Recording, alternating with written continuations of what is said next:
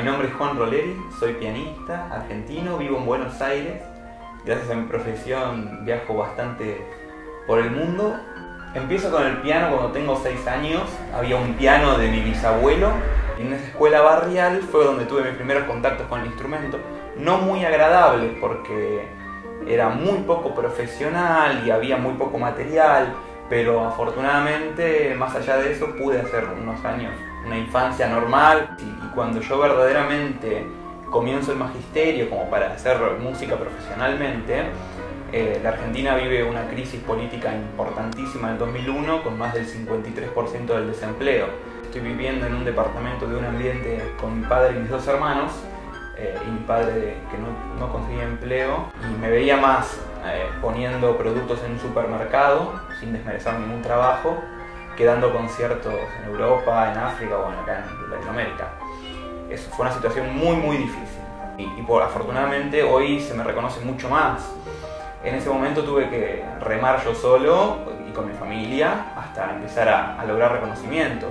Luego cuando yo viajo a Suiza, ahí logro una especie de mecenazgo de personas muy importantes en las embajadas suizas y, de gente adinerada, que ahí es donde yo empiezo a, tener mayores contactos y mayores posibilidades.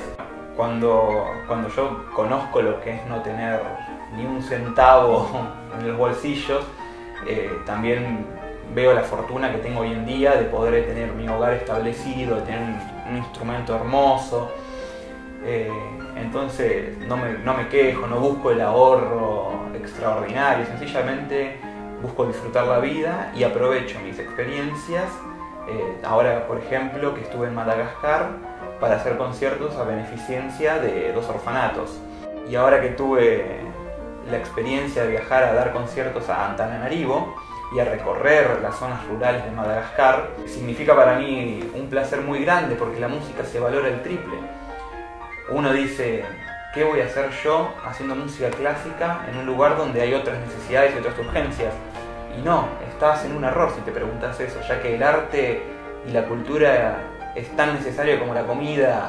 Hay un paralelismo cultural eh, también en las comidas. Pero claro, sí, son comidas del pobre. Hay papa, hay, son las mismas comidas, guisos. Eh, y esos, paralelismos me gustaron, me sentí muy cómodo. Mucho más que comiendo cuatro platos con cubiertos de plata y copas de cristal.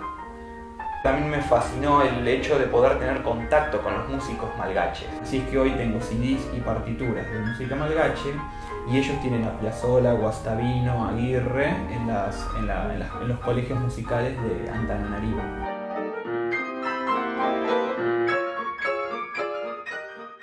Amazona de la Libertad combatiente por la emancipación, organizó milicias con, pobladores originarios y luchó a la par de Belgrano y Güemes. Fue olvidada por la historiografía oficial. Un monumento ahora en su memoria va a ser justicia. Estamos hablando de Juana Azurduy. Ella encabezó una batalla revolucionaria un año antes de la revolución en sí es la reivindicación de la mujer en la lucha social, es, es, la mujer ejemplar en la Argentina y está completamente olvidada. ¿Por qué? Porque era mujer.